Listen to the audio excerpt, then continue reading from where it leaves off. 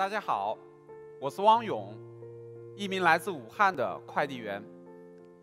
我第一次参与志愿服务，是在去年抗击新冠肺炎疫情期间接送医护人员上下班。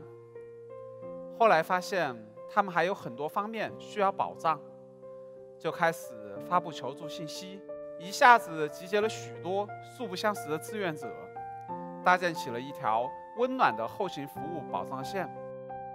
我觉得能做一名志愿者、逆行者，是很快乐、很美好的事情。